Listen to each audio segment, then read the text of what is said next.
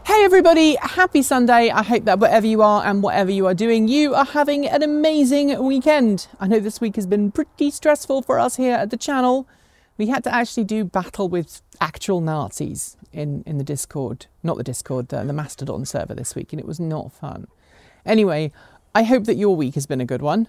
And if you like chickens and you like the chicken and garden update that we do and you like seeing how we're growing things, go ahead and watch that if you haven't yet. It's already just posted this morning and you'll get to see our brand new greenhouse, which is incredible.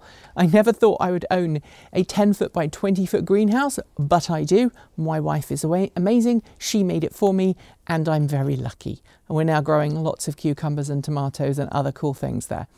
But that's not what I want to talk to you about today. What I want to talk to you about today is the steps that you are going through to try and make your home more energy efficient.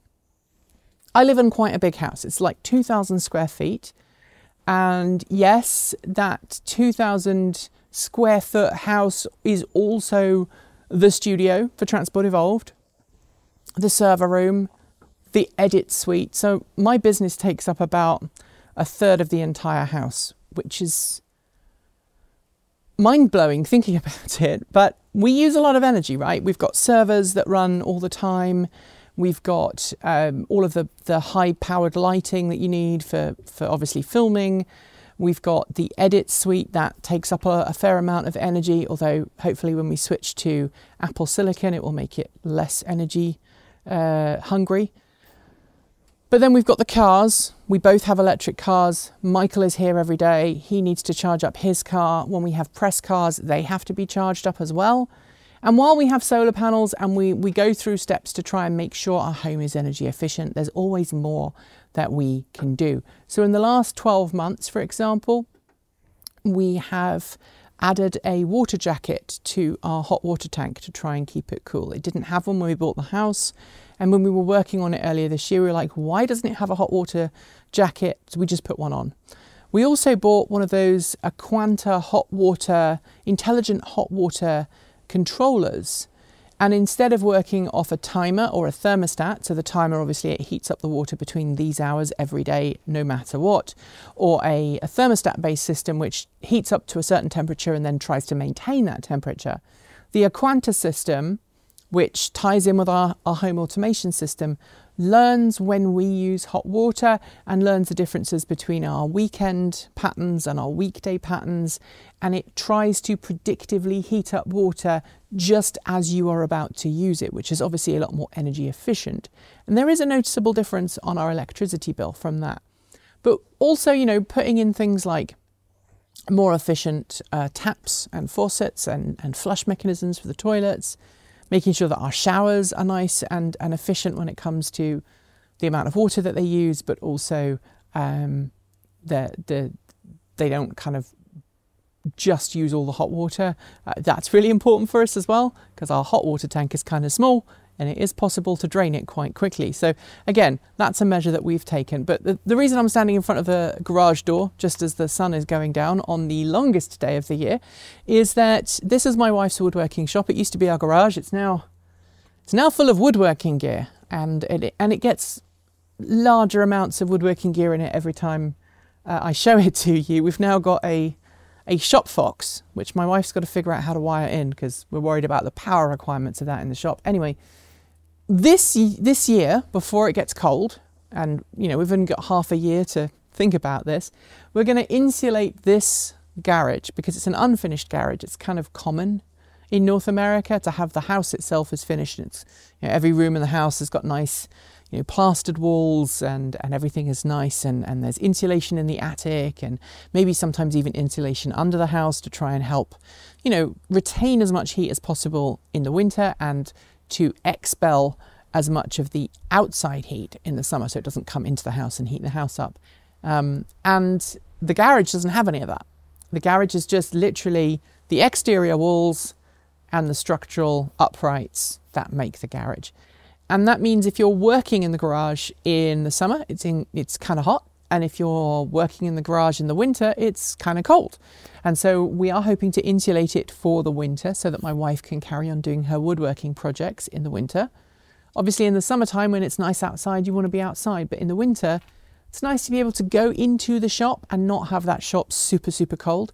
So that's something we're going to be doing to try and, and make our home more energy efficient. Because I can tell you, last winter, when my wife Kate was trying to make uh, presents for family and friends, we burnt through a lot of electricity because we were heating this garage with a resistive heater, like a bar heater, basically.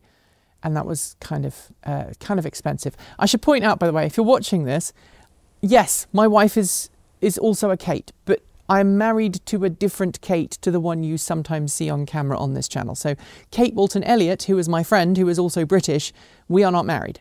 I am married to a different person who is called Kate, who is an American. We call her American Kate.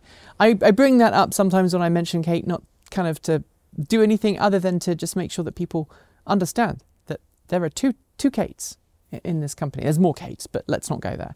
Anyway, um, I would love to know how you are preparing your house to be more energy efficient. Because obviously, if you use less energy, you save money. And right now, I think everybody's feeling a, a bit of a pinch. Everyone's feeling a little bit strapped for cash. So, taking steps to make sure that your home is properly insulated, especially if you live in Europe in an old house. Um, over here, you know, houses that are 20 years old are considered, oh, that's, the house is getting on a bit. Uh, but in the UK, it's quite common to, to live in a house that's two or 300 years old. Um, and so those houses were built without the concept of insulation, and sometimes it can be challenging to put them in. I know the house my mum lives in, which is what 100 and, 160, 170 years old, uh, getting that insulated was a, was a bit of a challenge. Um, and she couldn't get a heat pump put in. She had to have a, a, a more efficient oil furnace put in to replace her previous uh, coal burning, or it was, yeah, it was a coal burning um, stove or, or heating system for the winter. She couldn't get a heat pump in because the house was just so leaky. Um, that it wouldn't have saved her any money. So I would love to know how you are making your home more energy efficient, how you're lowering your cooling bills in the summer, how you're lowering your heating bills in the winter, how you're trying to utilize water saving techniques, uh, whether that is water butts on the side of the house, which again is something that we are going to try and do soon, or whether that is just choosing smart, efficient appliances for your home, being smart about turning things off. I'd love to know all of that in the comments below. And on that note, we are done with today's video. If you would like more, please make sure that you follow the links below.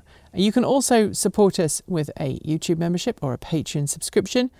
And if you have comments, you can leave them below in the comment section. You can reach out to us on Discord. You can reach out to us in the Patreon, uh, on the Patreon channel there if you are a Patreon supporter, or you can uh, you can reach out to us on Mastodon and be nicer than those horrible mean people who were. Uh, yeah, let's not go there. Anyway, scrolling on my right, is the list of amazing charged up supporters and shout outs go out to our V2G Patreon supporters.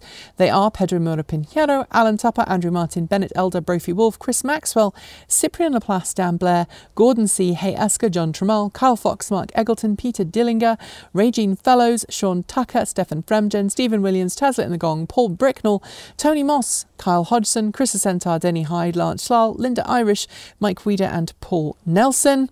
And finally, um, Big thanks to our off grid supporters.